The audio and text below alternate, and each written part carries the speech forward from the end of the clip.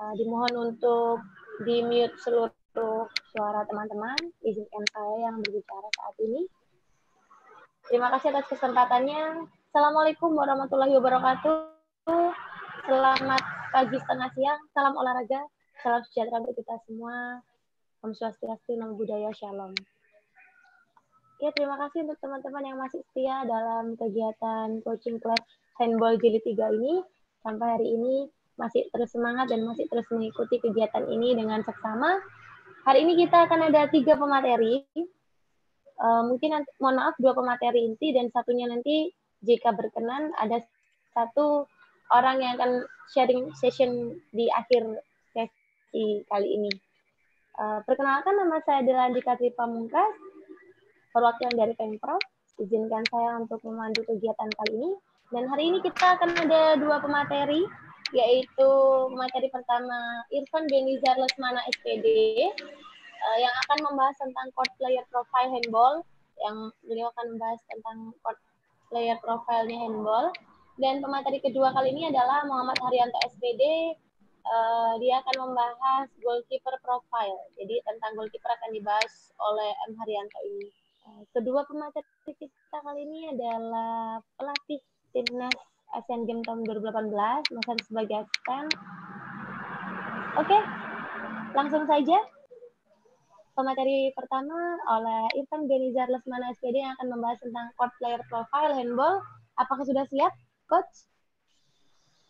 Siap, Mbak Dela. Siap, Mbak Dela. Oke. Baiklah, teman-teman. Mari kita dengarkan dan kita perhatikan dengan seksama untuk materi pertama yang akan disampaikan oleh Irfan Benizar Lesmanes PD. Dipersilakan. Terima kasih Mbak Dela. Assalamualaikum warahmatullahi wabarakatuh. Eh, selama yang saya hormati Bapak yang saya hormati Bu Moderator Bu Dela, rekan pelatih bola tangan Coach Har, beserta rekan-rekan bola tangan sekalian. Um, pertama-tama saya ingin mengucapkan terima kasih yang sebesar-besarnya kepada ABTI Jawa Timur yang sudah uh, mengundang saya untuk meng kembali mengisi materi di acara webinar ini. Juga kepada Piston Handball Academy yang semoga semakin eksis pada perjalanannya. Oke, um, pada kesempatan kali ini saya akan membahas uh, mengenai court player profile. Uh, mohon izin sebentar, share screen dulu.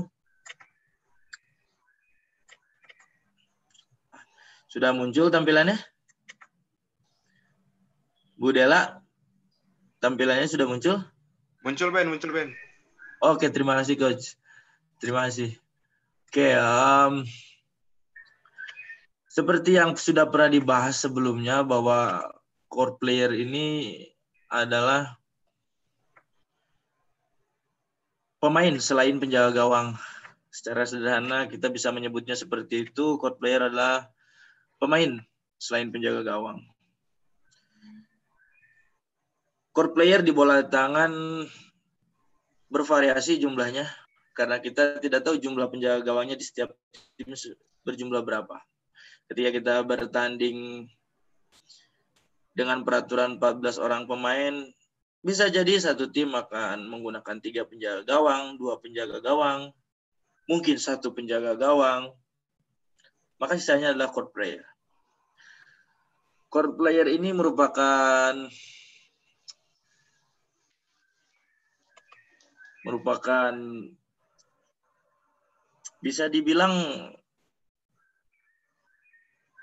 tidak mendiskreditkan penjaga gawang, tapi ada banyak aksi yang sangat akrobatik yang muncul dari court player.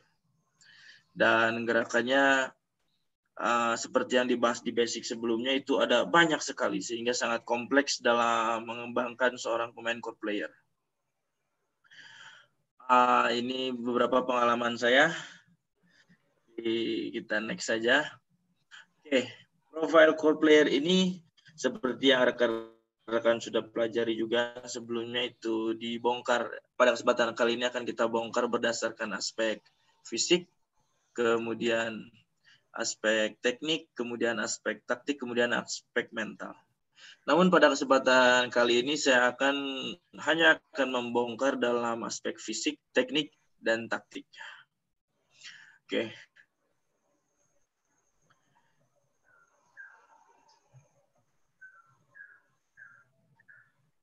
Um, cara sederhana, cara sederhana seperti yang kita bahas pada webinar sebelumnya, profil fisik seorang pemain core player ini untuk standar pemain elit itu penulisnya adalah Mitchell Sick dan dia membongkar berdasarkan gerakan seorang ketika bertanding. Itu dibagi atas standing still, kemudian walking, kemudian jogging, running, fast running, dan seterusnya. Keberadaan aspek fisik ini sangat penting. Kenapa? Karena ini menentukan volume latihan sehingga jangan sampai, jangan sampai. Ini kan datanya sangat lengkap. Rambu-rambunya sangat jelas. Bahwa jarak tempuhnya maksimalnya sampai 4,6 kilo. Coaches, saya menemukan literatur yang ternyata sampai 5.000 kilo. Maaf, 5.000 meter. Boleh? Tentu saja boleh. Karena berlangsung sangat dinamis. Di sini tidak dijelaskan bagaimana pertandingannya atau situasi pertandingannya. Oh, ini banyak juga ya ini yang berpartisipasi. Coach, boleh bantuannya ini untuk untuk bisa di accept para peserta yang ingin masuk? Belum Apa host ya? banyak di eh kamu hostnya Ben oh berarti aku iya iya oke deh oke oke oke tidak apa-apa tidak apa-apa oke um, ini modalnya menggunakan GPS mereka didata person by person kemudian dicek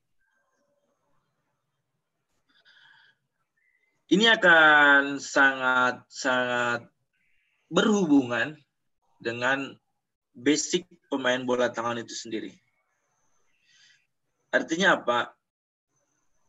Mungkin pemain bola tangan harus pernah berlatih seperti seorang seorang pemain bola tangan harus pernah berlatih daya tahan seperti seorang pemain maraton.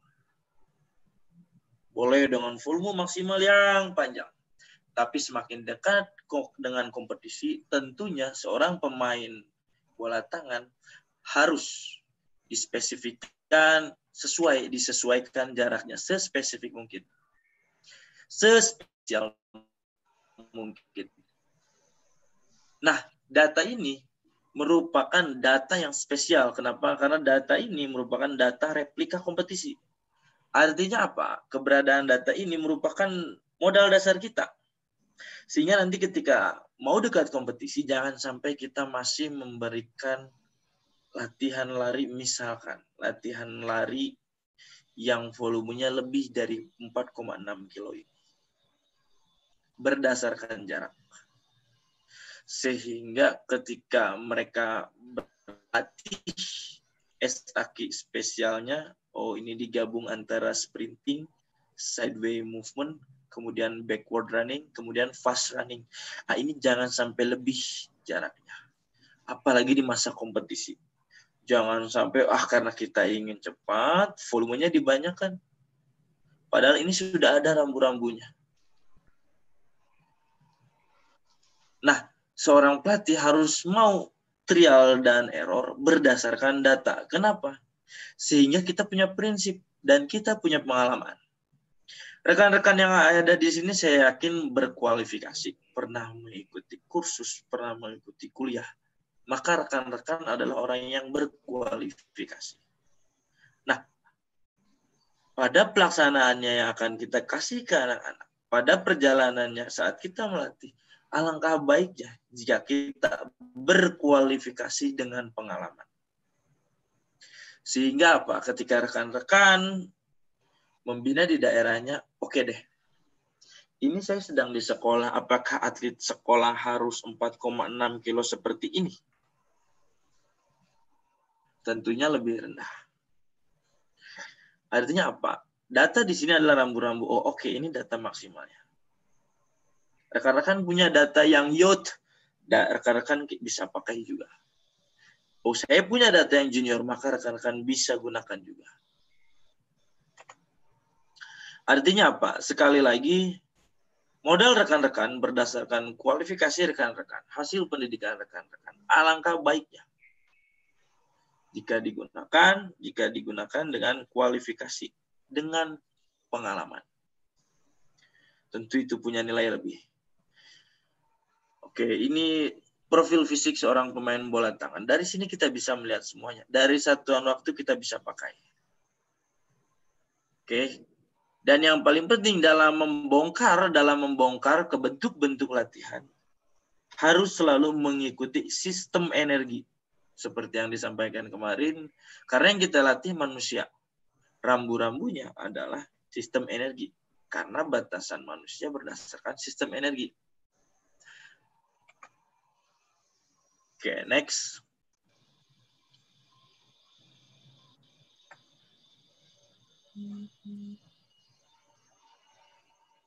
Ini adalah profil teknik seorang pemain core player. Rekan-rekan sudah melihat dan sudah di, di webinar yang awal, di webinar yang awal sudah mempelajari apa itu tackle, apa itu blocking, apa itu block shoot, apa itu steal, apa itu rebound. Kemudian apa itu pass and catch, kemudian shoot, feint, dribble, piston, screen maupun rebound. Poin penting yang ingin disampaikan adalah seperti ini. Ada banyak sekali istilah dalam permainan bola tangan. Karena para ahli dalam bola tangan sendiri punya banyak pendapat. Sehingga rekan-rekan, rekan-rekan sekali lagi harus mau mencari literatur. Supaya menemukan komposisi terbaik. Karena sekali lagi, untuk memahami suatu cabang olahraga, kita harus membongkar dari satu, karakter, teknik, dan taktik cabang olahraga tersebut. Kemudian karakteristik peraturan cabang olahraga tersebut. Dalam bola tangan, dalam bola tangan, oh, coaches, ini apa bedanya screen dengan blocking? Pada kesempatan saya mengikuti kursus di tahun 2018, dari AF sendiri juga mengatakan, bahkan dari lekturnya sendiri menjelaskan, ya masih banyak istilah yang ketika bertahan menyebutnya blocking kemudian dalam menyerang juga blocking. Sehingga ada beberapa perubahan terminologi bahwa blok itu dipakai di saat bertahan, kemudian screen itu dipakai dalam menyerang. Lebih lanjut, blok sendiri ini terbagi atas blocking player, kemudian blocking the ball atau block shoot. Ini bagian dari teknik? Ya, bagian dari teknik. Kenapa? Karena urusannya gol dan tidak gol. Steals urusannya gol dan tidak gol. Karena ketika steals kita gagal, pertimbangan kita gagal, maka tim kita yang kebobolan.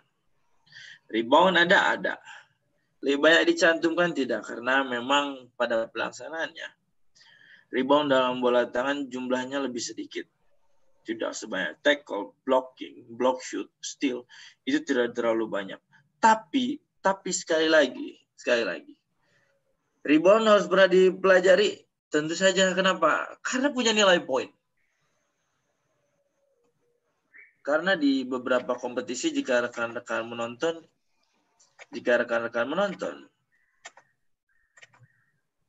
rebound bisa menjadi poin pembeda. Tapi apakah kita harus melatih rebound lebih dominan daripada melatih tackle, blocking, block shoot, kemudian steals?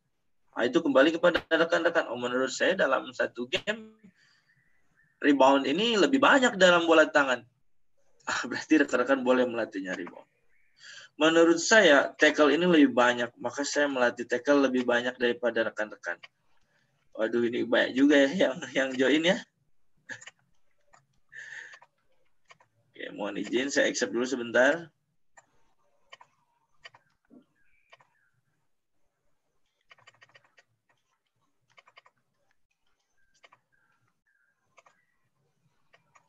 Oke, oh nggak selesai-selesai ya ini. Banyak sekali ini. Oke. Kemudian untuk profil teknik dalam menyerang itu ada pass and catch, shoot, feint, dribble, piston, screen, rebound. Uh, mana yang lebih penting?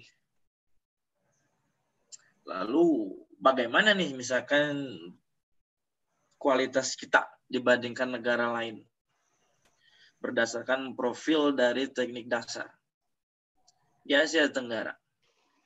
Kita mengenal di Asia Tenggara bahwa Thailand adalah juaranya untuk kategori indoor.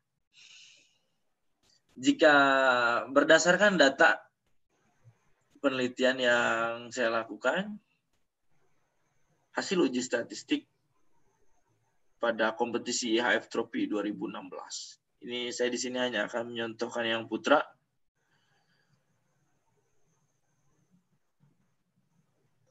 Share.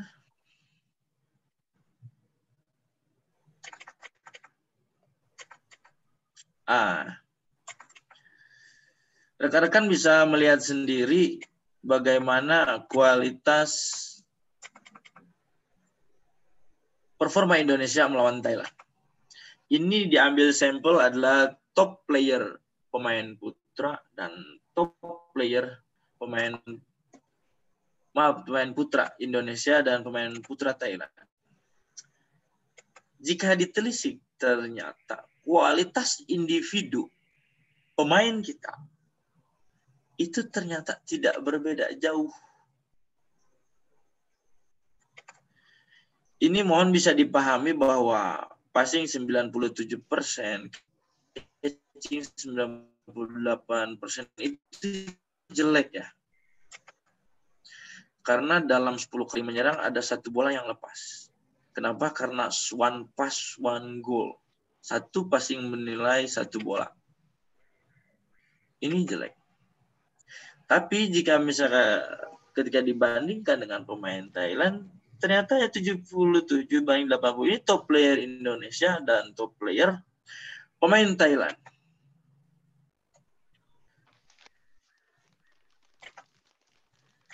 Lalu apa PR-nya nih bagi kita di Indonesia? Karena bola tangan adalah cabang olahraga bergu, maka tidak cukup hanya mengandalkan satu pemain saja.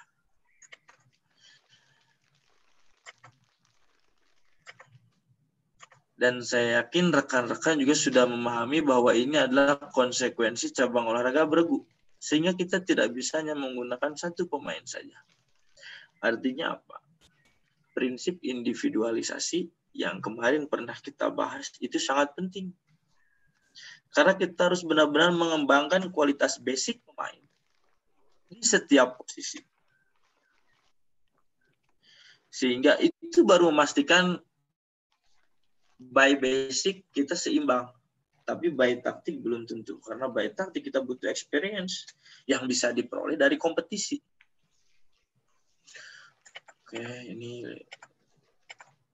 Wah ini saya bingung ya, banyak juga ya pendaftar ya. Oke.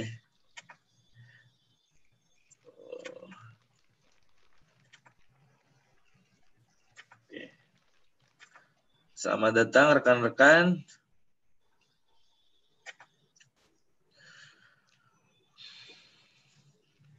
Seperti yang pernah dibahas sebelumnya bahwa basic merupakan faktor penting karena tanpa ada basic kita akan sulit membangun taktik. Sekali lagi Indonesia harus bangga dengan usia yang lebih muda dari Thailand, tapi Indonesia ternyata punya kualitas individu-individu yang baik. Artinya apa? Hasil pembinaan rekan-rekan sekalian ini ternyata sekalian ini ternyata berhasil. Semoga hal ini menjadikan motivasi kita tinggi. Jangan sampai kita berpikir dia ada di bawah negara lain. Kenapa? Kita harus bangga dengan Indonesia. Seperti apa pun. Karena pada prinsipnya sebenarnya ketika kemarin kebetulan kemarin pada saat ASEAN gimana pengalaman menjadi asisten pelatih asing pelatih kelas dunia world class dengan standar latihan yang sangat tinggi belajar banyak sangat belajar banyak sangat banyak diskusi dan sangat banyak melihat.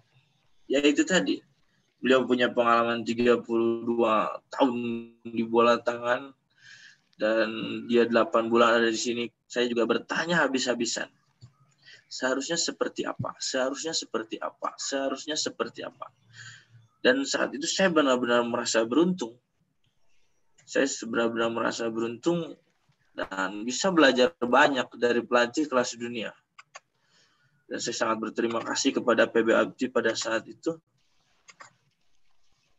Karena saya beruntung memiliki pelatih kepala kelas dunia. Keluhan dari Mr. Itu menyampaikan ketika berlatih di lapangan di lapangan yang ada di Indonesia misalkan menggunakan eh, lapangan futsal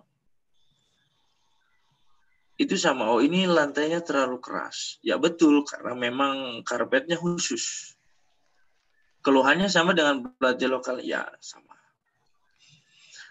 Karena karpetnya aja harganya 800 juta dan PB Abdi ini juga hebat karena sudah punya dua. Indonesia punya dua karpetnya. Di Asia Tenggara yang punya karpet Thailand, Indonesia. Artinya PB juga menaruh perhatian bahwa penting bahwa fasilitas itu sangat penting, fasilitas latihan ya betul. Kalau mau semua cabang olahraga murah, tapi kalau mau kompetisi harus yang mahal karena sesuai standar. Prinsipnya seperti itulah ya. Kembali lagi ketika membicarakan masalah basic, passing sikut harus tinggi, sikut harus tinggi, catching tangannya dibuka, tangannya dibuka, fainting stepnya ada yang pendek, ada yang panjang, shooting sikutnya diangkat, dibentuk twist dan lain-lainnya. Itu pada prinsipnya keluhannya sama dengan pelatih lokal. Bahwa memang seperti itu yang dibutuhkan cuma karena kita memang belum memiliki liga sehingga atau kompetisi yang berkelanjutan sepanjang tahun bisa dibilang oke okay,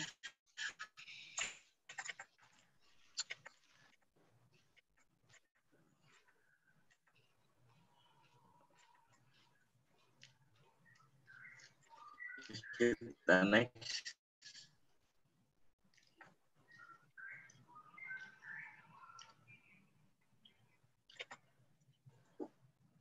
Oke, okay, um, dalam basic saya hanya akan mengambil salah satu esensinya.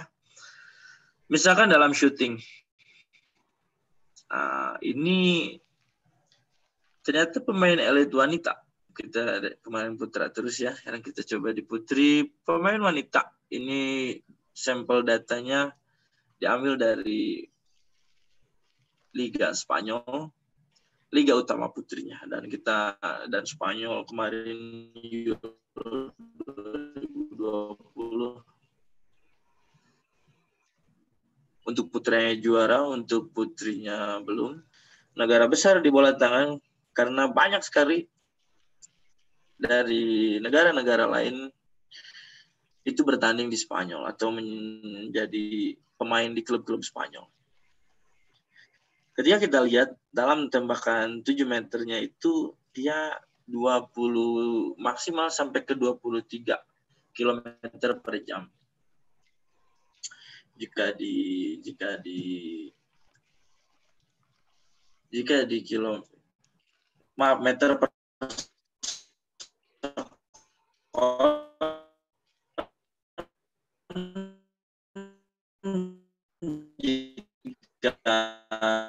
di yang ingin kita bahas adalah kita bisa kok. Speed gun kita dari data ini kita bisa merefleksikan oke okay, ini kualitas dunia seperti ini nih.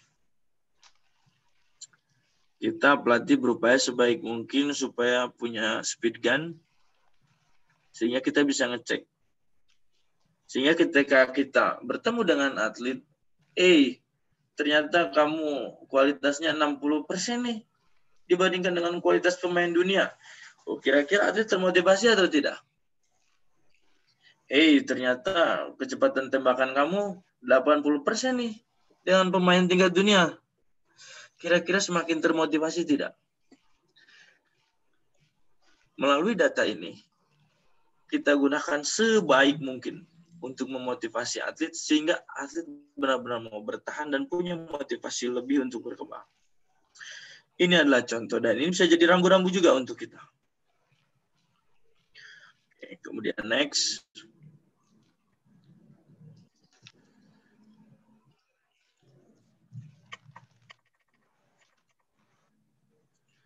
Sekarang untuk struktur pertandingan. Oke, jika jika rekan-rekan menggali lebih dalam, jika rekan-rekan menggali lebih dalam,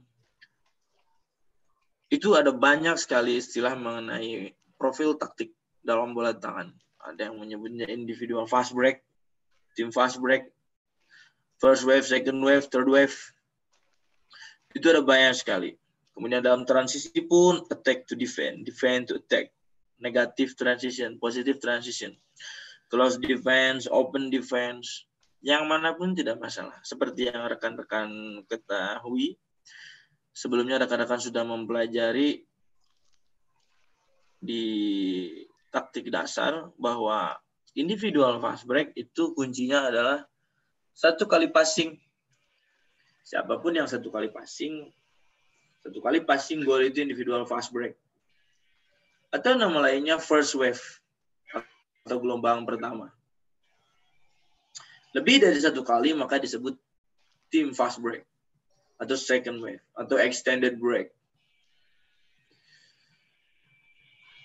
Positive transition, apakah kita menerima bola, mendapatkan bola, atau kita kehilangan bola?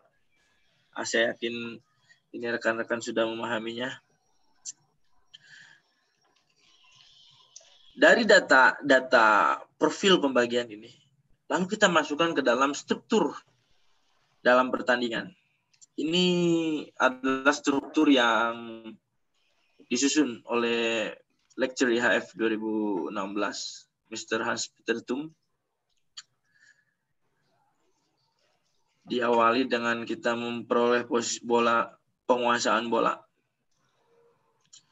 Kemudian memilih fase yang dilakukan apakah kita melanjutkan dengan fast break, extended break atau solusi transisi. Kemudian kita build up atau disebut position game atau set play. Kemudian kita bermain positioning. Akhirnya seperti apa? Berlanjut berarti build up lagi. Kemudian jika ternyata tidak berlanjut, maka stop. Biasanya kalau stop di sini karena tackle, maka rebuild lagi. Kemudian endingnya kita bisa dapat free throw, kita bisa dapat grup taktikal, atau kita bisa satu banding satu maaf satu lawan satu. Karena ujung-ujungnya pasti satu lawan satu. Atau maaf maaf maaf. Karena pada ujung-ujungnya itu banyak sekali taktik yang digunakan. Ada yang lebih, ah, saya lebih suka mengejar satu lawan satu. Saya lebih suka, ada yang lebih suka mengejar dua lawan tiga. Pokoknya saya mau taktik saya di endingnya dua lawan tiga. Saya mau endingnya tiga lawan tiga. Saya mau endingnya tiga lawan dua. Nah, itu tergantung pelatih juga. Profil mana yang mau kita kedepankan? Ketika kehilangan bola, kita turnover.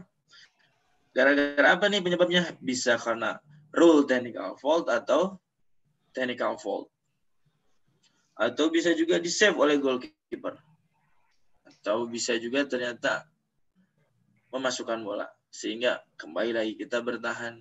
Nah, keberadaan struktur ini, keberadaan struktur ini itu harus diwarnai, harus diwarnai sekali lagi harus diwarnai dengan profil taktik yang kita inginkan. Saya mau menjadi tim yang menyerang. Saya mau menjadi tim yang cepat. Saya mau jadi tim yang set play. Nah, ini kembali lagi kepada seorang pelatih inginnya seperti apa. Oh, saya lebih suka membentuk tim saya berdasarkan modal pemain yang saya miliki. Bijak. Pokoknya saya mau standar saya masuk. Tidak salah. Selama sumber dayanya ada. Artinya apa? Struktur of the game ini atau struktur pertandingan ini, struktur dalam memainkan bola ini, ini ada banyak sekali trial dan error yang harus kita lakukan, coaches. Karena kita tidak tahu respon anak ini seperti apa ketika fast draw. Karena kita belum mengenal oh, responnya seperti apa ini ketika kehilangan bola. Nah, untuk memahami karakter ini, sekali lagi dibutuhkan trial dan error. Setelah ada trial dan error, tolong jadikan data. Tulis kebiasaan-kebiasaan pemain, habit-habit pemain. Sehingga kita bisa membentuk tim yang benar-benar kita inginkan. Uh, mungkin itu saja yang dapat saya sampaikan. Kurang lebihnya saya mohon maaf. Um, untuk host akan saya kembalikan kepada oh oke okay, maaf maaf maaf endingnya endingnya maaf endingnya endingnya adalah dari data tadi, dari data tadi, itu akan membentuk suatu data statistik. Nah, dalam statistik statistik menyerang, maaf, dalam statistik secara taktik itu dikenal sebagai pasti dalam pertandingan itu ada minority majority. Artinya jumlah kita lebih sedikit atau lebih banyak. Kemudian dicek lagi dominan tim fast break kita? Individual fast break kita? Atau dominan tim fast break kita? Atau tim yang dominan position game? Berdasarkan data ini, oh ini sangat beruntung. Kita punya data lawan lebih beruntung lagi. Oh, ya ternyata dominannya di individual fast break kita hentikan, kita fast, kita paksa set play. Oh, ternyata dia dominannya di set play, maka kita mainkan temponya lebih cepat. Nah, sekali lagi, untuk mengembangkan tim seperti ini perlu trial dan error. Um, sebelumnya saya mohon maaf, sebelumnya saya mohon maaf karena cukup banyak pengalihan dalam seminar kali ini. Tapi semoga bisa menjadi bagian dari inspirasi dan prestasi rekan-rekan. Untuk untuk saya kembalikan hostnya kepada Bu Dela.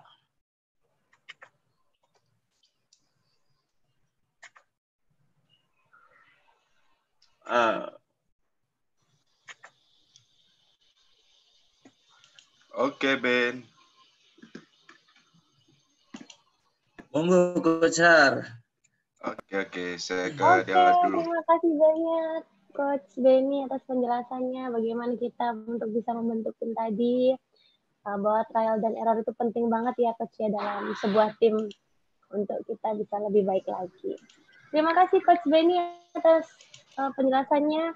Oke, selanjutnya kita akan masuk ke pemateri dua, yaitu tentang goalkeeper profile handball. Ini buat teman-teman yang kiper atau sedang melatih kiper, dengerin baik-baik. Ini ada Coach Haryanto, pelatih Puslada Jatim, yang akan menyampaikan materi tentang goalkeeper profile handball. Kepada Muhammad Haryanto, Coach Haryanto, sudah siap? Monitor Coach Sudah siap, Del. Oh, udah siap dari tadi ya, Coach ya. Sudah siap okay. ya, Coach ya. Oke, silakan menyampaikan materi tentang goalkeeper profilnya handball, Coach. Kepada Coach Haryanto, dipersilakan.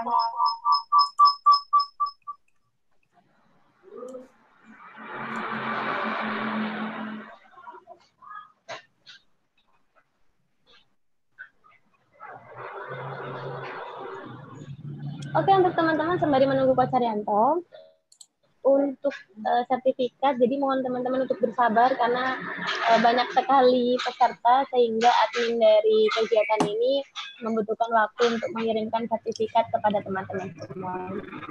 Jadi harap ditunggu saja ya. Oke, Coach, sudah ready? Oke, Del. Oke, silakan Coach Har. Oke, eh, baik. Terima kasih. Assalamualaikum warahmatullahi wabarakatuh. Warahmatullahi Yang pertama, terima kasih buat rekan saya, Coach Benny, sudah bersedia untuk ikut berbagi pengalaman, berbagi ilmu untuk rekan-rekan yang ada di Jawa Timur khususnya dan Indonesia umumnya. Eh, seperti yang disampaikan eh, oleh moderator, tadi kita ada dua materi utama. Eh, yang pertama terkait core player sudah disampaikan Coach Benny. Kali ini saya coba berbagi pengalaman bagaimana terkait goalkeeper profile untuk melengkapi pemahaman dan pengetahuan rekan-rekan semua. Nanti di sisi akhir eh, akan masuk lagi salah satu rekan saya, eh, Coach Joni Seprianius Sir, atau biasa dipanggil Coach John, yang akan membagikan eh, pengalaman atau sharing tentang filosofi di akhir nanti. Nah, sebelum kita ke Coach John, kita masuk ke goalkeeper profile.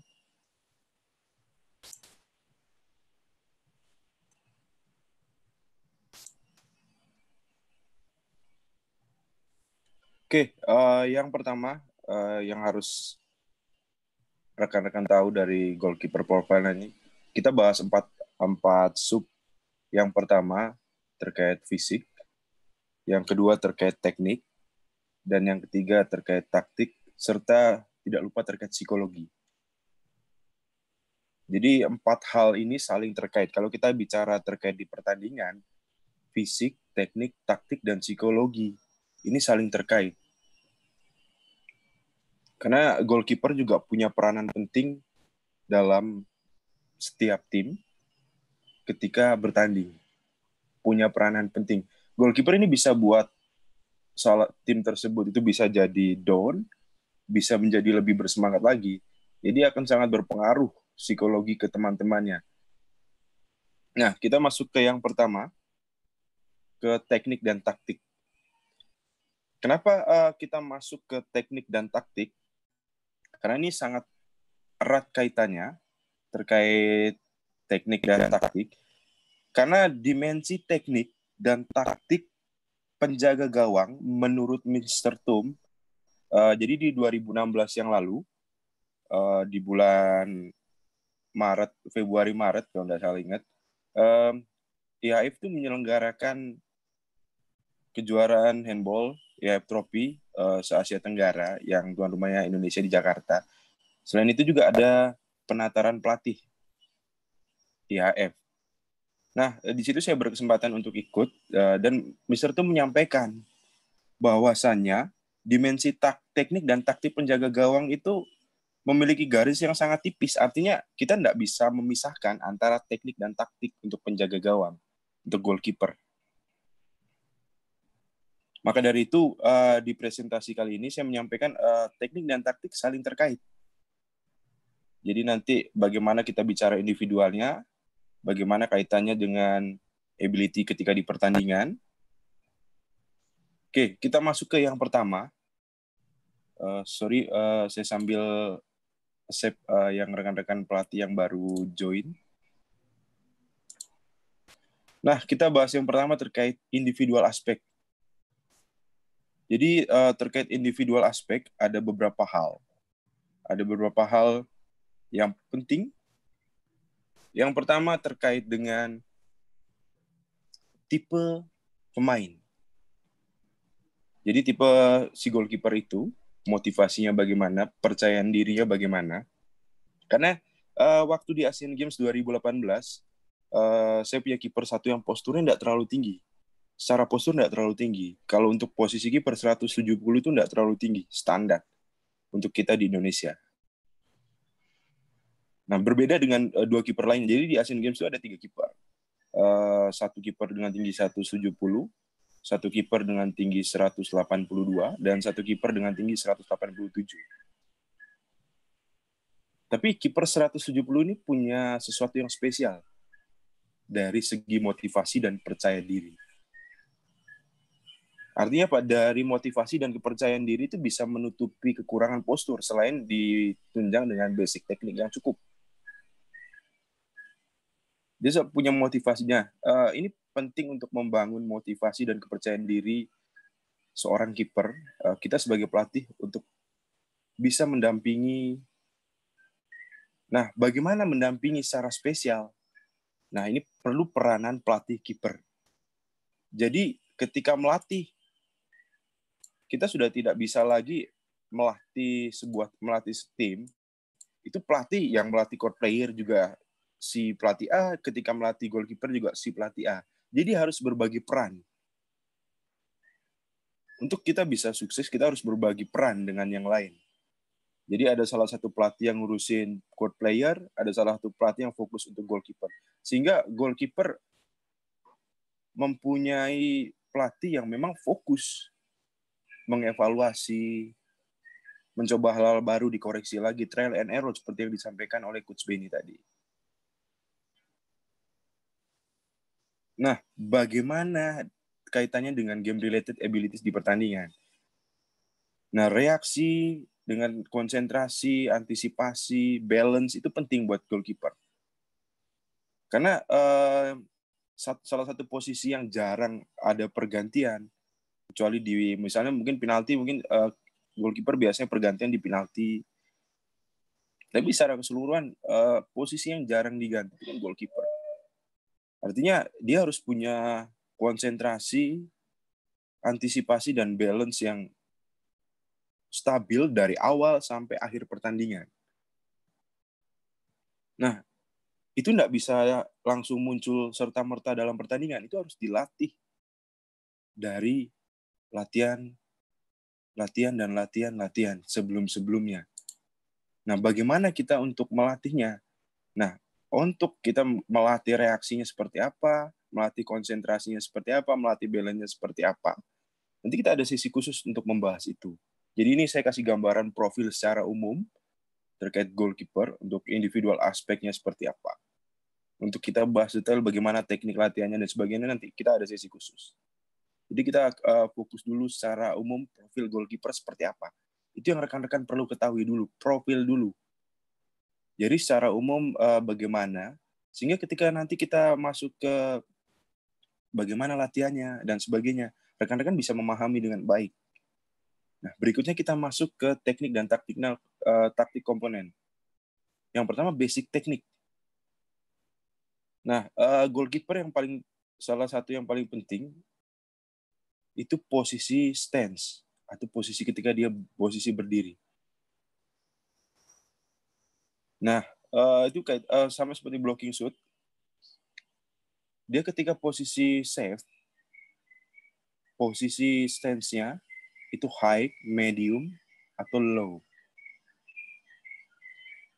Jadi sesuai masing-masing kiper itu punya karakter masing-masing posisi stance. Ada yang uh, senangnya posisi stance-nya high, ada yang senang posisi stance-nya medium, ada yang senang posisi stance-nya low. Tapi ada juga yang adaptif. Maksudnya adaptif di sini berubah-berubah sesuai posisi shoot. Misalnya dia shooting 9 meter, dia posisi stance-nya high. Ada juga yang shooting 9 meter, posisi stance-nya low. Nah, apakah posisi uh, shooting 9 meter itu stance-nya harus high? Apakah stance-nya harus low?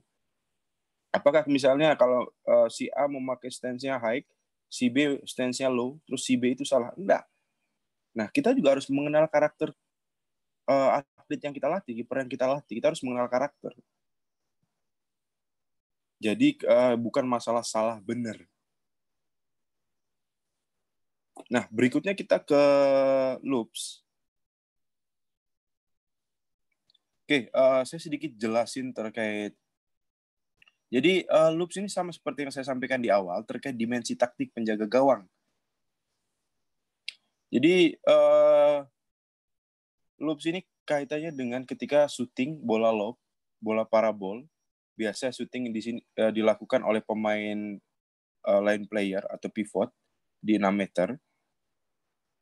Jadi positioning positioning yang tepat berdasarkan kondisi di pertandingan. Karena uh, pemain lane player atau pivot ini syutingnya biasanya tidak kenceng atau tidak pakai power. Jadi biasanya bolanya pelan, cuma ditaruh aja. Kadang-kadang cuma didorong atau di lob. Nah, kiper harus bisa baca pertandingan Kiper itu tidak boleh, tidak bisa baca jalannya pertandingan. Skipper harus 100% bisa baca pertandingan. Karena kiper ini bukan uh, bukan pajangan. Jadi kalau kiper hanya diam, tanpa suara, hanya berdiri di gawang, uh, untuk untuk seperti itu sangat tidak sangat tidak bisa direkomendasikan. Jadi peran kita sebagai pelatih memberi uh, pemahaman ke kiper bahwa handball ini dinamis. Jadi kita tidak bisa mikir uh, ketika misalnya line player shooting, kita tidak bisa mikir bahwa si line player ini bakal ngelop shootingnya, bolanya bakal di lob. Oh dia bakal uh, ke kanan nih, dia bakal ke kiri. Jadi uh, di handball itu dinamis. Kita tidak bisa tidak bisa langsung eksekusi teknik misalnya save bola atas kalau bolanya belum rilis. Jadi bukan tebak-tebakan.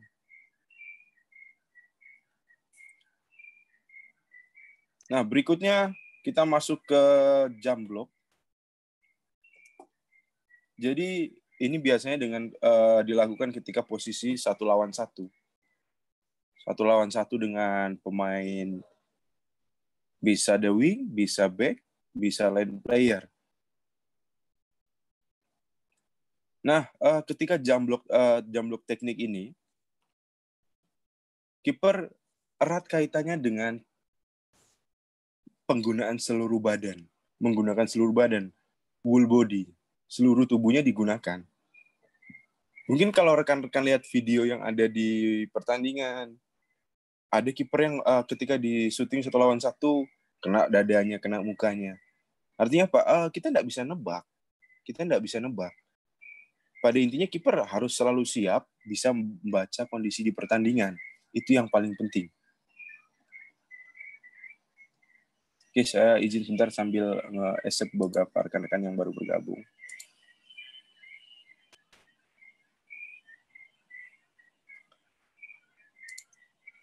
Nah, uh, berikutnya uh, kita masuk ke passing.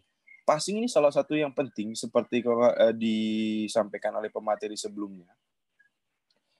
Passing, passing maupun catching ini harus wajib dikuasai semua pemain, baik court player maupun goalkeeper. Nah, ini erat kaitannya dengan beberapa uh, beberapa hal berikut nanti uh, ada beberapa hal yang akan saya sampaikan nanti di slide berikutnya. Oke, berikutnya kita ke situasi yang adaptif. Implementasi atau situasi yang uh, adaptif. Jadi ini kaitannya uh, variasi teknik. Maksudnya di sini rekan-rekan bisa membuat model latihan atau melatih kiper rekan-rekan dengan situasi dengan di pertandingan. Tapi tentunya setelah menguasai basic teknik secara bertahap. Ketika sudah menguasai basic teknik secara bertahap, rekan-rekan bisa langsung lanjut memodifikasi latihan sesuai dengan adaptasi di pertandingan seperti apa. Bisa menggunakan pemain uh, court player untuk uh, misalnya membantu ketika misalnya syuting berapa meter, ada syuting dari double save.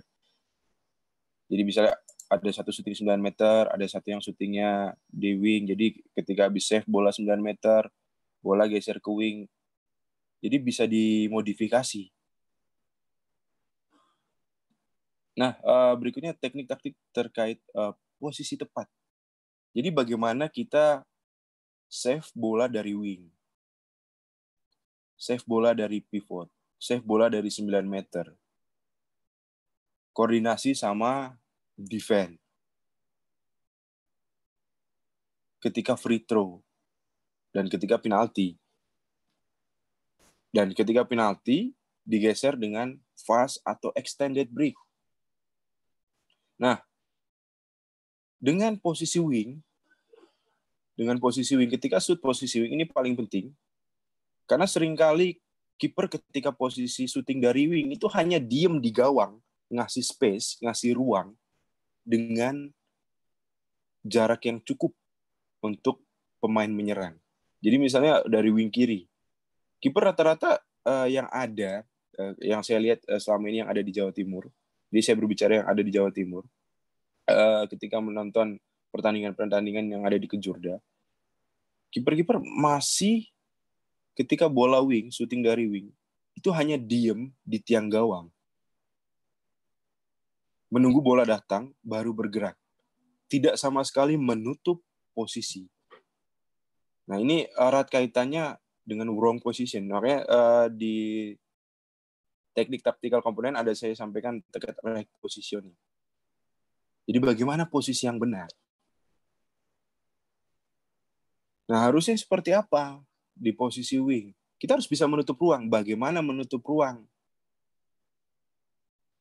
Yang pertama bisa dilakukan. Jadi ini uh, saya belajar dari Mr. Yon. Uh, sama seperti Coach Benny, ketika di Asian Games yang lalu kita juga belajar. Uh, Coach Benny belajar mungkin terkait banyak di court player.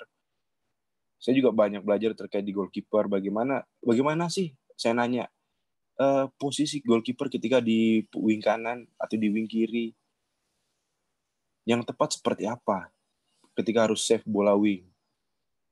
Jadi untuk memudahkan kita kalau kita masih belum terbiasa kan biasanya kita hanya diem di gawang, nempel ke tiang tuh. Yang bisa kita lakukan kita lihat dulu sudutnya, si sudut shooter. Nempel di gawang, maju satu langkah. Kalau ketika kita di posisi gawang bagian kanan, berarti kaki kanan yang naik duluan, satu langkah ke depan. Tangan dengan posisi naik. Nah, nanti contoh detailnya ada di sesi berikutnya. Jadi gambarannya juga seperti itu. Jadi ketika kita ada di posisi gawang bagian kanan, ya kaki kanan duluan yang naik kita agak sedikit menutup ruang shooter. Ketika di kiri, berarti kiri yang naik duluan. Jadi itu yang saya pelajari ketika dengan Mr. Yon. Itu basic uh, yang paling mudah ketika kita tidak terbiasa untuk menutup ruang, untuk naik menutup ruang uh, posisi wing. Nah, uh, itu sama sama halnya dengan posisi pivot. Kita lihat dulu posisi pivot di mana. Intinya ketika shooting yang wing, shooting pivot close range. Kita tidak boleh hanya statik di gawang.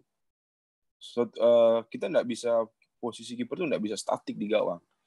Kiper harus bisa naik satu dua langkah, menyesuaikan kondisi baik. Uh, kita lihat lagi kondisi di pertandingan seperti apa, jaga jaraknya seperti apa. Jangan sampai terlalu maju karena kalau terlalu maju juga bola bisa di lob. Nah, yang berikutnya koordinasi dengan defense. Jadi uh, kalau tadi Coach Benny menyampaikan uh, blok, nah ini koordinasi kiper harus bisa koordinasi. Makanya saya sampaikan tadi di awal, kiper harus bisa membaca permainan. Artinya bisa berkomunikasi juga sama defense. Ketika ada pemain yang berbahaya shooting sembilannya, minta dua blok, ngomong siapa. Uh, misalnya posisi di shooting di di kiri, di kiri kita, bek kanan lawan berarti minta dua orang kalau misalnya berbahaya minta dua orang nah si uh, minta back kiri kita sama center untuk ngeblok atau minta uh, back kiri sama pivot yang ngeblok jadi bisa disesuaikan. Jadi mau satu yang ngeblok mau yang dua blok komunikasi kiper komunikasi. Nah kalau nggak ada komunikasi di situ itu yang buat sering error. Nah tadi saya menyampaikan di basic teknik terkait passing. Ini erat kaitannya dengan free throw. Nah, kadang-kadang sering kali yang ada di Jawa Timur, atau mungkin di Indonesia umumnya, ketika gol terjadi, kiper itu ngambil bolanya lamban. Ngambil bolanya lamban, ketika passing ke ke pivot yang sudah nunggu di garis tengah, itu pun lamban. Kadang-kadang bolanya tidak tepat.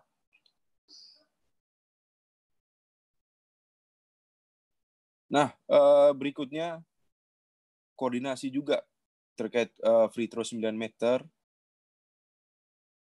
Di sini biasanya jarang kalau di pengalaman yang sudah ada. Di Indonesia jarang uh, jarang tim-tim yang memanfaatkan free throw. Tapi bukan berarti kita tidak menyiapkan kiper kita untuk uh, siap dengan koordinasi uh, dengan kondisi yang terjadi ketika free throw. Karena kadang-kadang uh, sebagian besar ketika free throw, bola dipasing balik, mulai set play lagi. Walaupun memang kondisi demikian, kita juga harus menyiapkan kiper siap dengan kondisi yang ada di free throw. Misalnya uh, bola di back pass di 9. Ketika memang uh, enggak, enggak dipakai uh, set play-nya. Nah, berikutnya dari penalti dirubah ke fast break atau extended break. Nah, ini uh, erat kaitannya juga dengan passing. Jadi habis save rata-rata kiper yang ada kiper yang ada itu passingnya ke orang terdekat. Ketika mau fast break, passing long pass ke teman yang sudah siap. Habis save, habis save, bola rata-rata dikasih teman yang terdekat. Padahal kita punya uh, peluang dengan melakukan long pass ke teman yang sudah lari. Di posisi wing biasanya salah satu wing bisa di wing kiri atau wing kanan mungkin atau mungkin center. Jadi pentingnya peng, uh, penguasaan teknik passing juga untuk kiper. Jadi jangan sampai kita fokusnya untuk melatih teknik kiper tapi tidak melatih teknik secara umum yaitu passing sama catching. Nah, uh, kita geser ke berikut.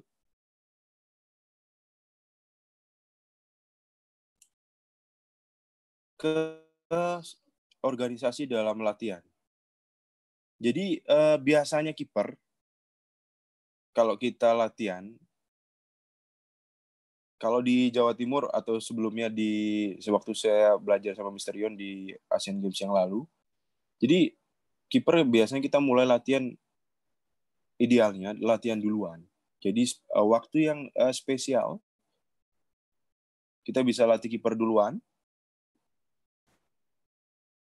Setelah itu kita masuk baru masukkan ke tim. Jadi kiper latihannya secara terpisah. Jadi pentingnya pelatih kiper berkoordinasi dengan pelatih kepala dalam setiap tim. Jadi mengorganisasi latihan yang tepat.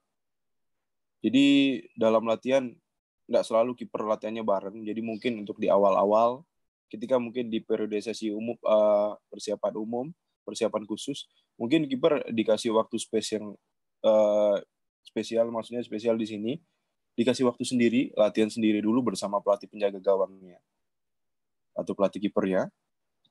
Jadi kiper latihan dulu. Ketika sudah nanti uh, sudah masuk ke materi inti, mungkin baru gabung sama tim. Jadi itu mungkin uh, dilakukan sampai persiapan khusus mungkin ketika kita masuk ke prakompetisi baru mungkin kita udah mulai bareng sama kiper dari awal dari warming up sudah bareng sama kiper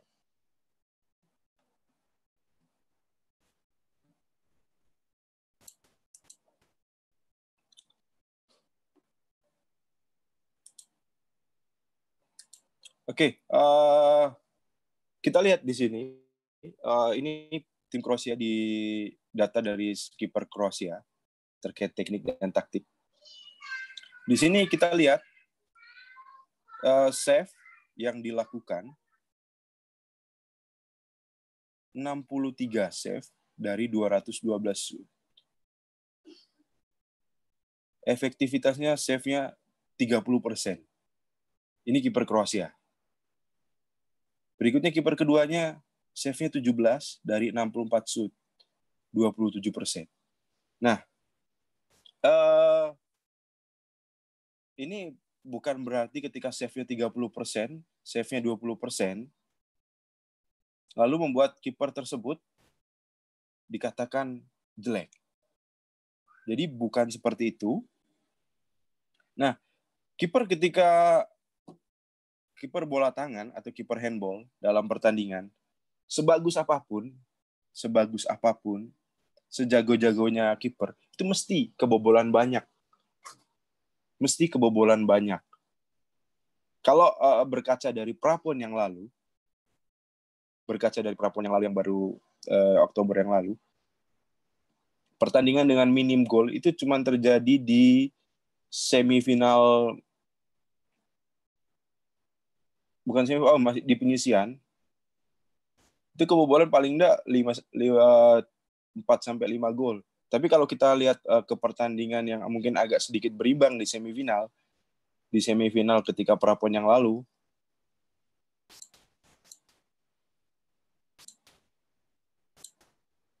jadi uh, maksimal kebobolan, eh sorry minimal kebobolan paling enggak 5.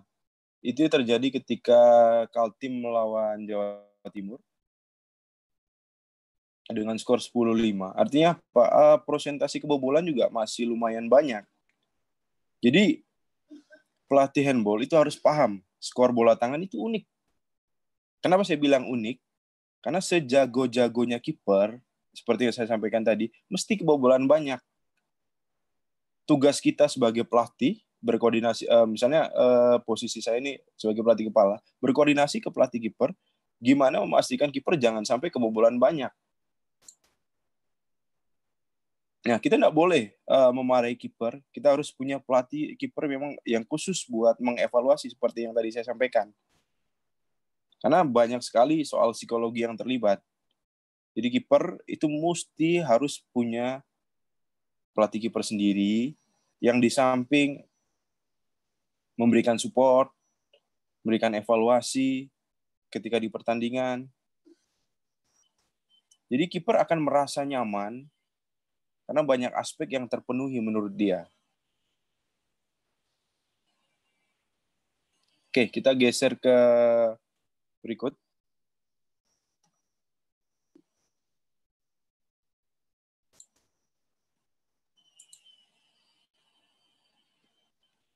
Oke, uh,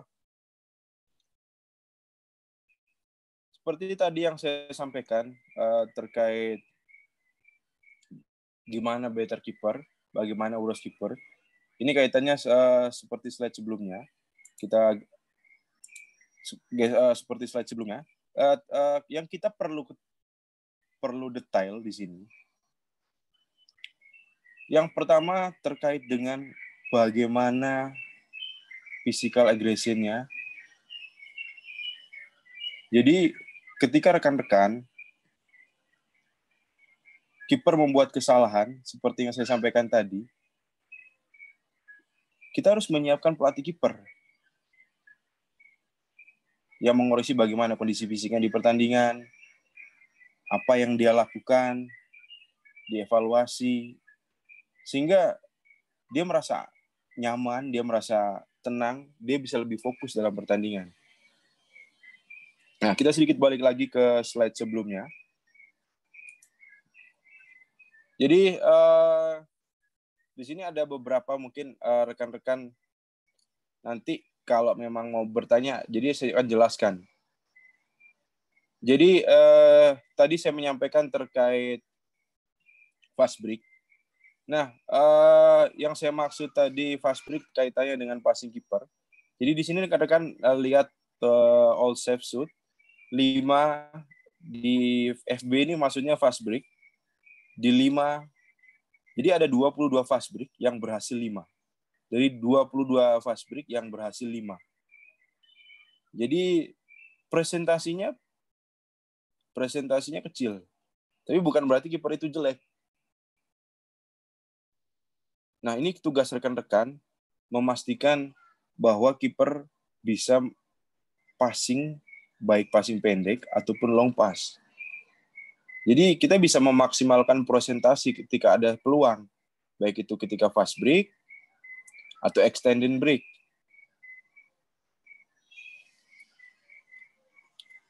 Oke Del, mungkin seperti itu Del. Saya kembalikan lagi ke Dela untuk dilanjutkan ke Coach John.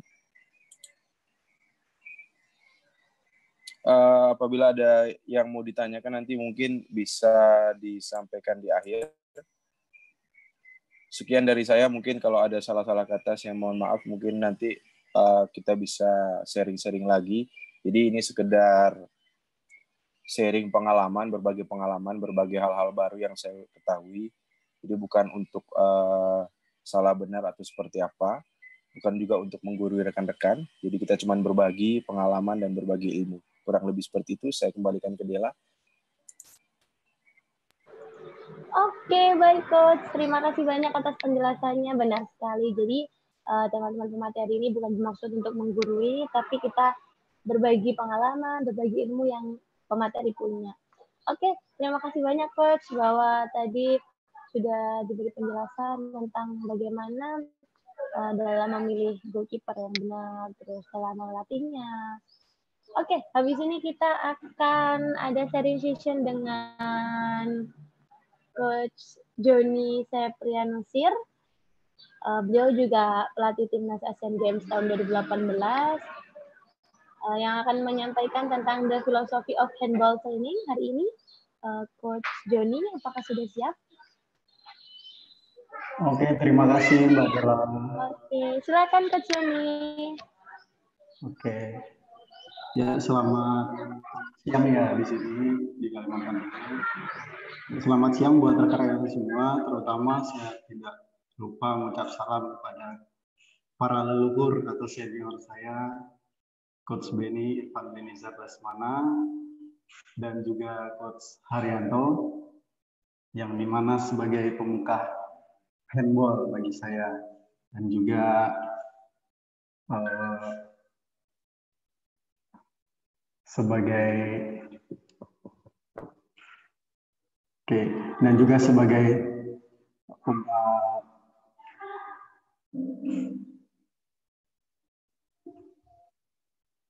sebagai apa ya pelatih lah bagi saya karena awal awal pertama bertemu handball ya di awal pertama saya uh, pertama kali terkesan melihat rekan-rekan kedua ini yang basicnya sangat luar biasa di handball dan seiring waktu menjadi pelatih pun sangat luar biasa sehingga memotivasi saya yang juga sebagai motivator buat saya untuk terjun ke dunia pelatih. Terima kasih Mas Benny dan Haryanto.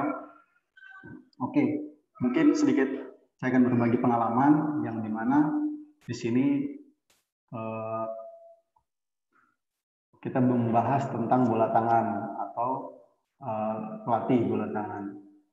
Di sini banyak sekali yang sudah disampaikan uh, sama rekan kedua rekan saya, Coach Irfan Benizar dan Coach Arianto, yang di mana mengenai coach player atau goalkeeper sudah sangat banyak sekali ilmu yang diberikan.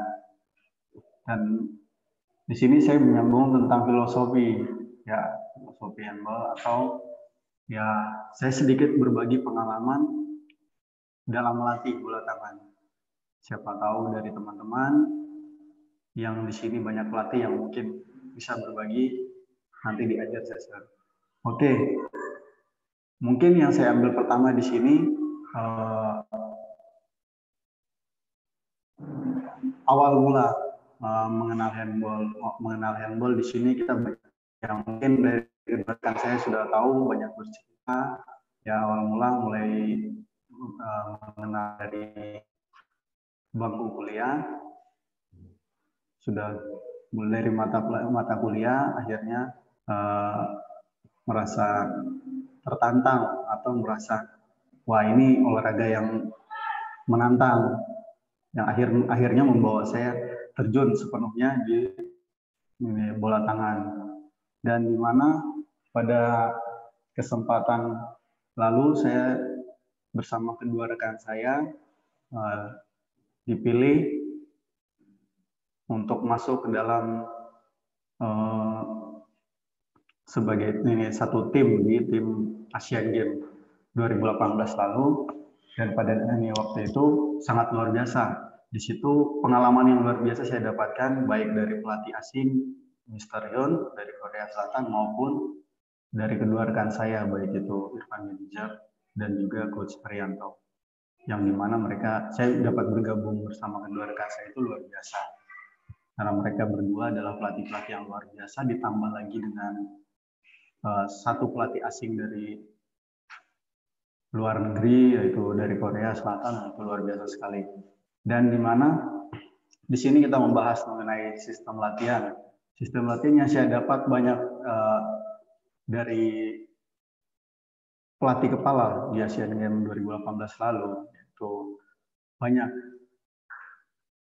Yang pertama, beliau lebih menekankan uh, beliau lebih menekankan atlet itu wajib mempunyai kemampuan fisik yang bagus.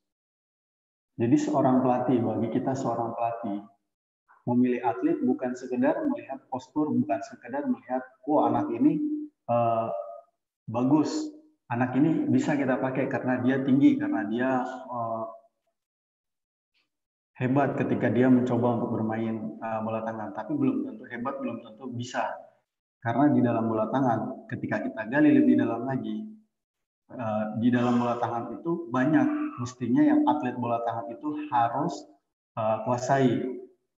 Karena kita lihat pada dasarnya, pada umumnya ke, uh, kebetulan saya di Kalimantan Timur, saya lebih mengalami karena mungkin di awal uh, awal-awal melatih, saya lebih uh, mengandalkan kemauan atau pemikiran saya sendiri, akhirnya banyak-banyak masalah yang saya dapatkan. Antara saat ini satunya cedera cedera awal ya, di mana atlet banyak cedera, baik itu yang paling uh, rawan itu lutut, ankle. Nah di sini baru latihan dua minggu, tiga minggu ada yang sudah ini cedera. Kenapa sih apa sih yang menyebabkan atlet itu bisa cedera? Atlet itu gampang sekali cedera. Nah, di sini setelah dia kemarin baru saya, saya bisa menemukan jawaban. Ternyata banyak sharing dengan teman-teman juga. Dan ternyata melihat juga dari sistem cara uh, melatih dari Mr. Yun dan cara beliau buat menciptakan atau membuat atlet itu membuat atlet itu sangat luar biasa. Yang di mana yang paling pertama bentuk pertama yang harus dibentuk itu adalah atlet harus kuat, fisiknya harus bagus. Jadi kekuatan, kelincahan, kecepatan, daya tahan, stamina yang paling penting. Stamina seberapa tahan dia bermain karena atlet bola tangan harus kuat bertahan bermain lebih dari waktu yang sebenarnya. Waktu yang sebenarnya di dalam bola tangan kita semua tahu dua kali 30 menit, tapi atlet bola tangan dituntut uh, harus lebih kuat daripada waktu yang sebenarnya. Sehingga ketika di Asian Games tahun lalu, ketika waktu tes, itu dari pelatih dari Korea, mungkin rekan-rekan di sini banyak mendengar isu-isu bahwa wah di pelatnas banyak yang cedera, atlet uh, pelatih dari Korea lebih banyak uh, menyiksa atlet. Gitu. Dan ketika kita terjun lebih jauh ke dalam, kita baru tahu apa maksud dan tujuan pelatih kepala ini melakukan latihan fisik yang sangat karena yang pertama, atlet kita cuman dibentuk atau diciptakan, kita menciptakan atlet cuma bisa bermain, tapi tidak bisa bertahan. Ini yang pertama. Terus kita kebanyakan menciptakan atlet yang penting dia punya skill bagus, yang penting dia bisa mencetak gol atau yang penting dia bisa uh, menang dari satu tim ini sudah itu sudah sudah cukup bagi kita. Tapi yang yang kita yang saya temukan di dalam uh, seorang pelatih kepala kita yaitu Mistorion itu beda. Sebelum kita menang kita harus kuat. Sebelum kita bisa bermain bola tangan kita harus punya dasar. Dasar itu apa? Ya kemampuan fisik kita. Tubuh kita kalau kuat, kalau fisik kita kalau bagus, kita akan bisa bermain dengan nyaman tanpa meragukan cedera atau tanpa takut untuk sakit atau apa pun atau benturan-benturan lain. Ya, jadi semua waktu latihan uh, kita banyak dapat dari situ baik itu weight training maupun uh, latihan di court itu banyak macam, banyak model. Mungkin di uh, lain kesempatan kita bisa sharing apabila ketemu atau bisa melalui media WhatsApp kita bisa sharing lebih lanjut lagi. Karena saya yakin kedua rekan saya juga lebih banyak mengambil ilmu dari pelatih kepala. Nah, ya beliau berdua sangat luar biasa orang yang lebih terkemuka daripada saya. Ya juga uh, di sini pelatih kepala, pelatih kepala lebih menekankan untuk pelatihan fisik. Ketika fisik kita kuat, kita akan baru mulai masuk ke dasar-dasar teknik. Yang tadi sudah disampaikan uh, kedua rekan saya baik itu uh, coach Irfan Benizar mengenai court player baik itu uh, Muhammad Haryanto sebagai goalkeeper semua itu sudah masuk ke dalam permainan yang saya mau sampaikan di sini. Ini di awal di awal yang bagaimana sih kita mulai masuk ke dalam semua itu. Jadi saya saya melengkapi saya mau melengkapi kedua rekan saya. Jadi sudah menyampaikan semua uh, cara atau baik baik ini semua apa ya tingkat-tingkat permainan yang sudah sudah masuk ke level yang di atas Ya, di sini saya mau menyampaikan di awal, awal bagaimana kita mulai membentuk atlet. Yang di sini saya pelajari, yang itu yang pertama atlet itu harus kuat. Yang kedua, barulah kita boleh masuk ke teknik dasar. Yang di sini ditekankan atlet eh, pelatih harus menekankan atlet harus bisa mempunyai dasar yang bagus. Dasar yang bagus kedua di sini adalah uh, passing catching karena kita tahu di mana pun olahraga olahraga apa pun, yang paling inti, yang paling wajib adalah teknik dasar. Ketika sudah mempelajari teknik dasar yang baik, dia akan bisa uh, mengembangkan semua gerakan-gerakannya dia uh, melalui uh, baik imajinasinya, baik instingnya, baik apa pun yang dia miliki. Ya, jadi seperti itu.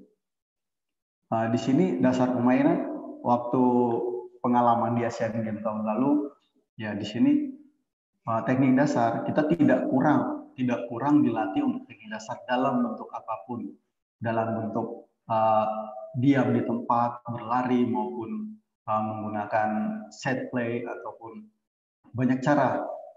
Ya, di sini passing, catching, dribble, shoot, shooting dan shooting pun tidak sembarang. Mungkin seperti halnya pengalaman saya melatih uh, ketika dulu ya sudah atlet asal bisa passing ya udah bisa. Yang bisa passing nyampe ya sudah. Ya bisa catching bagus ini nangkap bola ya udah. Ya bisa shooting masuk gawang ya sudah. Tanpa melihat sedetail mana sebagus mana dia melakukan passing sebagus mana dia melakukan catching sebaik mana dia mengarahkan bola ke tempatan dia untuk melakukan shooting nah ini ini yang kita selalu ditekankan ketika uh, berada bersama-sama di uh, satu tim di Asian Games bahwa kita wajib melihat atlet dari sisi mana pun. Ketika dia melakukan passing, sisi postur badannya, postur ini gaya berdirinya, postur ini postur tangannya, semua kita eh, kita dihimbau dari pelatih kepala supaya memperhatikan sedetail mungkin supaya tidak ada terjadi kesalahan. Karena ketika atlet kita biarkan melakukan kesalahan atau passing yang salah atau uh, gerakan yang salah, itu akan menjadi habit dan akan menjadi uh, petaka buat atlet itu sendiri. Jadi dampaknya bukan terjadi ketika uh, dampaknya bukan terjadi ketika waktu dia latihan, tapi ketika dia bertanding karena kesalahan itu akan muncul bukan pada saat latihan, tapi lebih ke pertandingan. Ya, jadi seperti itu. Yang berikut kita masuk ke sistem latihan. Ya, sistem latihan di sini banyak mungkin kita sudah ketahui. Awal latihan ada pemanasan, stretching, build up, uh, latihan apa pun ya. Jadi di sini uh, yang saya dapat dari uh, pelatih kepala atau uh, pelatih Korea Mr. Yun uh, di Asian Games tahun lalu, ya di sini pemanasan seperti biasa, ada jogging-jogging kecil, terus ada uh, stretching dan segala macam. Terus ada latihan ketahanan. Latihan ketahanan di sini, jadi pelatih kepala di sini lebih uh, menekankan atlet kita lebih banyak bergerak daripada diam. Apa pun uh, cara, apa pun uh, gerakan harus lebih banyak bergerak. Jangan jangan sampai diam. Di sini ada seperti eh, sprint, sprint. Ya, kita tahu sendiri, mungkin coach coach Haryanto dan coach Benny lebih uh, lebih bisa menjelaskan ada sprint panjang, sprint pendek, dan di situ dilakukan berulang-ulang sampai mungkin dilihat ya kita sendiri sebagai pelatih pun kasihan sebenarnya lihat atlet. Tapi sebenarnya lebih kasihan lagi apabila kita tidak mendukung atlet itu untuk bisa menyelesaikan program itu. Karena yang dia dapatkan nanti dampaknya nanti terjadi ketika dia bertanding.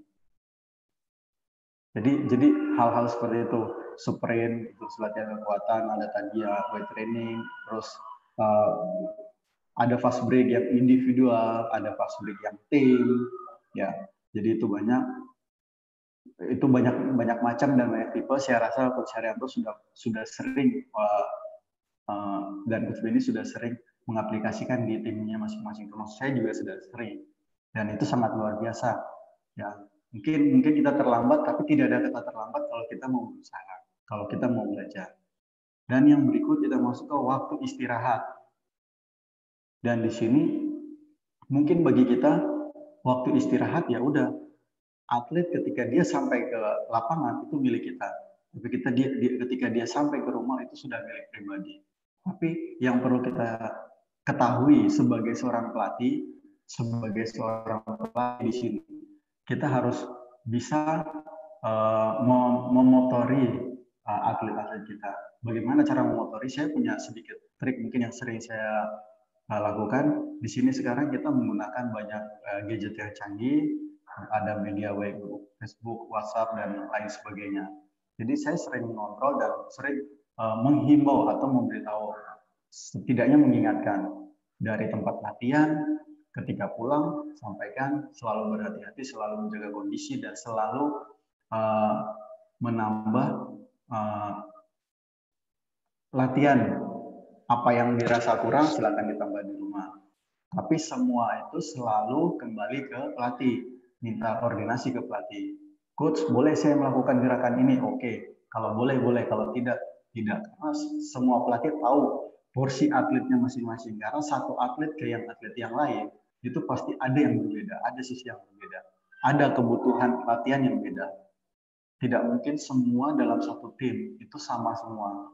Karena pasti di dalam satu satu satu tim itu pasti ada satu, dua atau tiga orang yang berbeda bentuk fisiknya, cara uh, mungkin daya pemikirannya itu pasti berbeda. Nah, di sini kita sebagai pelatih sangat penting kita melihat semua ini, semua sisi seperti ini. Jadi bukan sebagai pelatih cuma tahu di lapangan tiup kuit, yang penting dia bisa syuting, dia bisa nembak, dia bisa uh, gini dan uh, sebagainya sudah aman. Bukan seperti itu. Ya. Jadi mungkin bagi-bagi pelatih-pelatih yang uh, seangkatan atau yang baru mulai mau berkiprah di dunia pelatihan bola tangan, yang mungkin sedikit uh, sedikit pengalaman yang bisa saya berbagi uh, ketika kita mau melatih atau mau menciptakan atlet, yang paling penting adalah atlet itu bisa sehat atlet itu bisa sehat, baru kita bisa itu itu modal utama bagi kita. Kalau atlet itu sehat, itu bisa menunjang segala program yang kita ini kita keluarkan. Ketika atlet itu sedikit-sedikit sakit, sedikit-sedikit ngeluh, sedikit-sedikit gini, wah itu fatal. Apalagi tanda kutip atlet yang uh, liar, liar di sini banyak. Nah, di sini banyak ya liar. Nah, di sini kita sebagai pelatih banyak betul hal yang perlu kita tekankan ke atlet. Ingat, bukan bukan kita bukan dipaksakan, tapi dihimbau. Ya, lebih ke himbauan. Kalau kita paksakan, ada atlet yang bisa menerima, ada atlet yang tidak bisa menerima. Tapi kalau kita sering menghimbau, mungkin ketika kita menghimbau kali ini, dia akan berpikir, oke, okay, ah nanti aja, nanti aja. Tapi uh, setiap hari atau setiap waktu tidak bosan-bosannya kita menghimbau dan semakin lama atlet itu akan berpikir wah ini kebutuhan saya dan saya juga petik banyak dari teman atau kedua rekan saya baik coach Irfan Benijat dan juga coach Muhammad Haryanto yang di mana pada event sebelumnya kemarin Rapon yang sangat luar biasa pertandingan atau kejuaraan yang sangat luar biasa tadi sudah dikutip sedikit oleh uh, coach Haryanto yang di mana pertandingan yang paling minim gol yaitu Kaltim uh, Kaltim West Jawa Timur. Ya, di sini terlihat sekali perkembangan dan di sini terlihat sekali uh, dorongan motivasi atau betul-betul terjadi perubahan yang di mana setelah pulang dari uh, Asian Games ternyata kita masing-masing tidak tidak tinggal diam gitu. Kita masing-masing punya pemikiran, punya imajinasi, punya uh, punya apa ya teknik yang luar biasa yang di mana saya di sini membentuk Kaltim, uh, Coach Haryanto di sana membentuk Jatim, Coach Beni untuk Jawa Barat dengan ditemukan kemarin di sana. Wah dengan pertandingan yang sangat luar biasa itu wah saya sendiri sangat terharu dan sangat luar biasa. Saya sampai uh, kemarin mungkin uh, banyak teman-teman yang bisa melihat pertandingan di uh, final kemarin antara uh, saya dan coach uh, coach Benny yaitu luar biasa. Itu pertandingan sangat dramatis yang di situ di mana bukan bukan kesalahan pemain bukan kesalahan pelatih tapi di di mana di sini masih kesalahan organisasi kita. Atau di mana di sini banyak ya masih kekurangan uh, mungkin ya itu mungkin pembahasan di luar ya, ya mungkin nanti di lain waktu. Ya, jadi mungkin uh, banyak uh, sedikit sedikit mungkin banyak kurang lebih yang sudah saya sampaikan mengenai uh, cara melatih atau uh, tentang filosofi ya filosofi yang ya jadi ketika mungkin saya kembalikan kepada rekan-rekan mungkin baik teman-teman yang baru berkiprah di dunia pelatih bola tangan atau yang sudah uh, lebih terkemuka atau yang bersama-sama dengan saya mungkin bisa berbagi ilmu ya. Mungkin ke, uh, ada teman-teman yang berbagi tantangan melatih dalam bola tangan ya silakan. Ya, mungkin kurang lebihnya seperti itu. Terima kasih waktunya buat uh, terutama buat coach Haryanto dan coach Benny dan juga uh, kepada host kita Mbak Delas. Terima kasih. Selamat siang. Oke, selamat siang juga Coach Joni. Terima kasih atas sharing session kali ini yang sangat uh, pengalaman yang sungguh bagus untuk teman-teman, untuk pembelajaran teman-teman juga. Semoga sukses selalu buat ketiga pemateri kita. Oke, teman-teman. Baiklah. Baiklah, begitu uh, kami akan buka sesi pertanyaan. Mohon maaf jika ada kurang ada suara yang kurang berkenan. Untuk kali ini kita ada tiga pertanyaan. Silakan buat teman-teman yang ingin bertanya, silakan chat di chat Zoom nama, asal dan pertanyaannya. Untuk pemateri yang mana, silakan. Akan ada tiga pertanyaan yang akan saya sampaikan.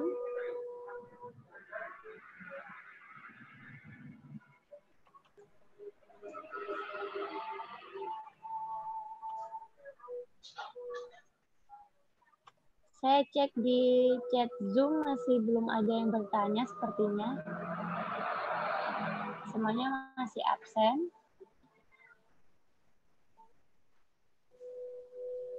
Oke, baiklah. Nampaknya teman-teman mungkin sudah begitu paham dan juga sudah begitu jelas dengan paparan kali ini.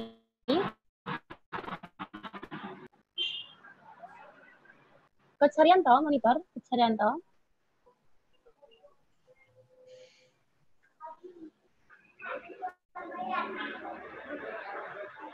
Coach Haryanto.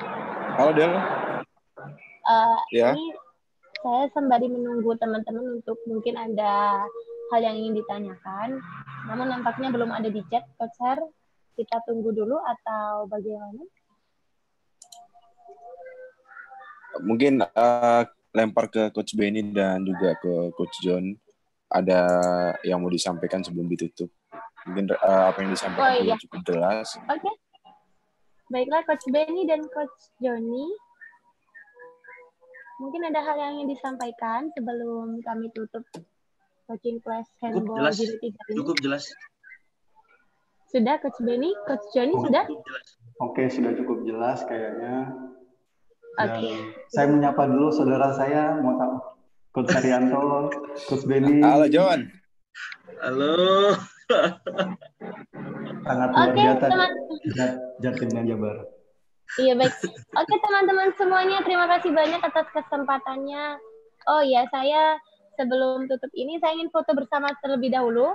Coach Arianto mau di screenshot ya. Silakan. Siap Del. Silakan menampakkan wajah terganteng dan tercantiknya. Silakan pasang wajah paling ganteng dan paling cantik teman-teman. Oke, okay, sudah ready semuanya ya? Saya sudah. hitung ya. Satu, dua, tiga. Oke, Del. Oke, lagi coach sekarang gaya handball gimana? Gini tah. Gini. Nah, Oke ya, siap ya tangannya semuanya di depan kamera gitu ya. oke. Biar kita sama-sama, oke? Jangan salah paham ini tangannya. Oke, siap. Satu, dua, tiga. Oke. Oke, sudah semuanya. Terima kasih banyak untuk ketiga pemateri, Coach Haryanto, Coach Joni, dan Coach Benny atas kesempatannya dan berkenan untuk meluangkan waktu di sharing-sharing di coaching class handball jilid 3 ini. Semoga kita semua selalu diberikan kesehatan, semuanya sukses, selalu dalam lindungan Tuhan. Eh, saya sebagai host kali ini pamit undur diri, mohon maaf bila ada kurangnya. Sehat selalu dan sukses selalu buat kita semua. Wassalamualaikum warahmatullahi wabarakatuh. Salam olahraga. Jaya.